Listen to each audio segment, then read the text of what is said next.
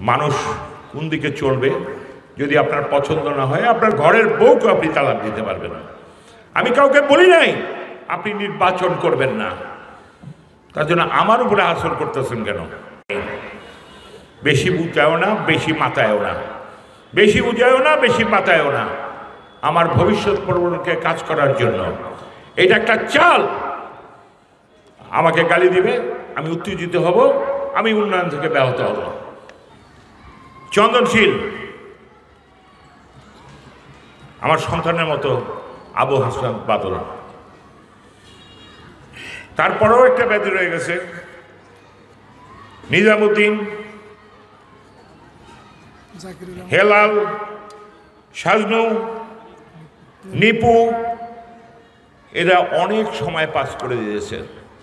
শামীম ওসমান যদি সংসদ সদস্য হতে পারে তাহলে তারাও সংসদ সদস্য হতে পারে।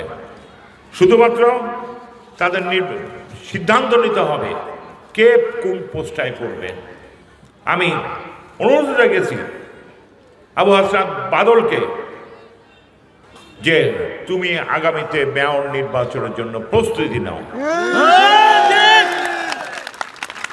আমি আপনাদেরকে একটা গল্প বলব। আমাদের সময় হয়ে গেছে, আমার বক্তব্য সময় দেওয়া হয়নি।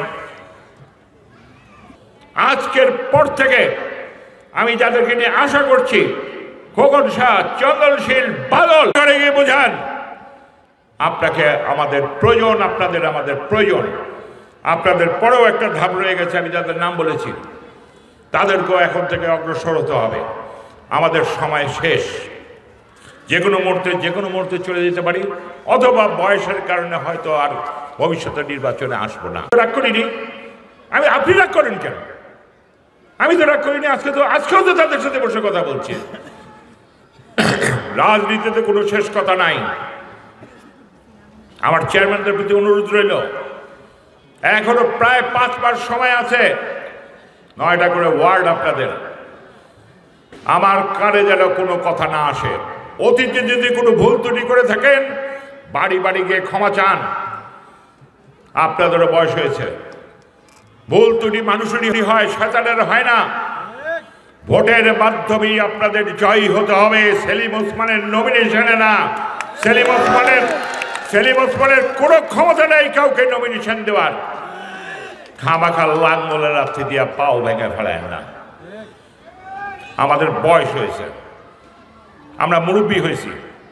সুতরাং আজকে এই বিষয়টা আমি কোনো অবস্থায় কথা তুলতাম না।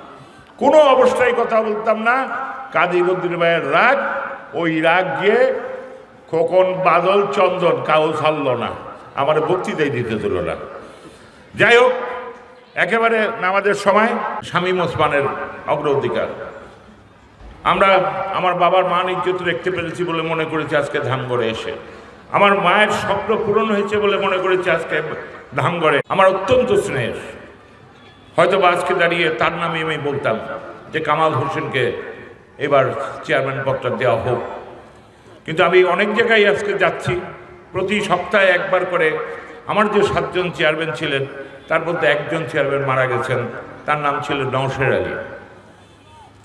আমরা তার পরিপ্রেক্ষিতে আমরা জসিম উদ্দিন সাহেবকে সেই এলাকায় আমরা মনে করছি তাকে চেয়ারম্যান হিসেবে পাবো।